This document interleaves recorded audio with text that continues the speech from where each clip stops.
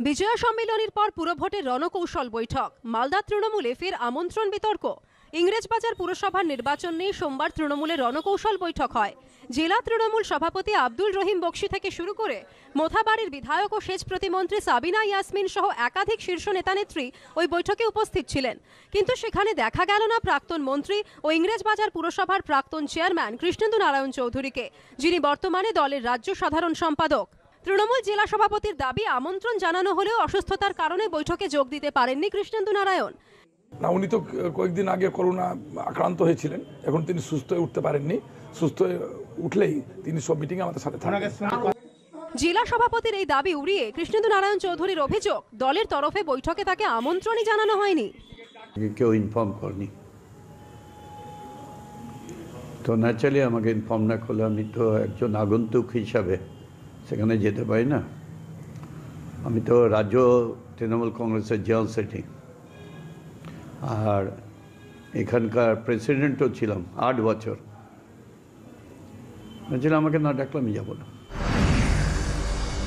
দ্বন্দ্বের একটাই কারণ হচ্ছে যে তৃণমূল দলটাই একটা সুবিধাবাদীদের প্ল্যাটফর্ম এখানে যারা পার্টি করতে আসে, তারা এই কাটমানি এই কমিশন এই ভাগ বাটোয়ারা সরকারি পয়সা তছরূপ করা সরকারি পয়সা থেকে নিজেদের নিজেদেরকে উম, আত্মসাৎ করে নিজেদেরকে বড় করা এই উদ্দেশ্যেই অধিকাংশ নেতা নেত্রীরা তৃণমূল করতে আসে।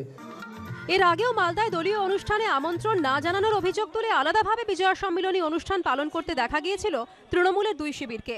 যার একদিকে ছিলেন জেলা সভাপতি ও সেচ প্রতিমন্ত্রী, আরেকদিকে ছিলেন কৃষ্ণেন্দু নারায়ণ চৌধুরী ও তৃণমূল সাংসদ মৌসাম বেনজির নূর। এবার বিধানসভা ভোটে মালদা জেলায় নজর কাড়া ফল করেছে তৃণমূল? বারোটি আসনের মধ্যে আটটিতেই জিতেছে তারা। বিজেপি যে চারটি আসনে জয়ী হয়েছে, তার মধ্যে রয়েছে ইংরেজবাজার। বিধানসভা ভোটের ওয়ার্ড ভিত্তিক ফলের নিরিখে ইংরেজবাজার পুরসভার উনত্রিশটি ওয়ার্ডের মধ্যে সাতটিতে এগিয়ে রয়েছে তৃণমূল। করুণাময় সিংহর রিপোর্ট, এবিপি আনন্দ, মালদা। সত্য অন্তহীন। সত্যের খোঁজও তাই। সত্য সন্ধানে তাই আমরা অক্লান্ত অকুতভয় এবিপি আনন্দ, নতুন ভাবনার প্রতীক, যা মনে মুক্ত, তথ্যে যুক্ত এবং যাবতীয় সীমানার বাঁধন থেকে মুক্ত। সীমা না, শব্দটির মধ্যে লুকিয়ে আছে মানা শব্দটি, যেন চোখ রাঙানি, এক অদৃশ্য বেড়াজাল যা আটকে রাখে আমাদের এক ছোট্ট গণ্ডির মধ্যে। একমাত্র সঠিক খবরই গড়ে তুলবে এক মুক্ত সমাজ। সেই জগৎ গড়ার লক্ষ্যে কোনো সীমানার ঠুকুটি আমরা মানব না। এবিপি আনন্দ, এগিয়ে থাকে, এগিয়ে রাখে।